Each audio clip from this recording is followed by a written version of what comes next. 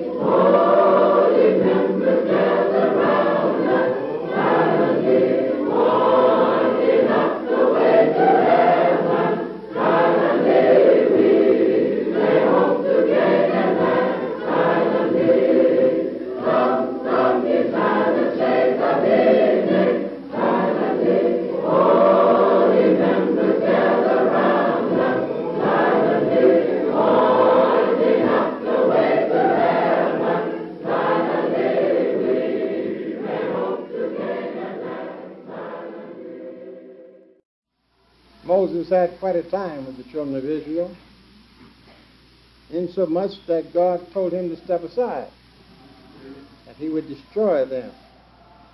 What happened? Moses fled for them.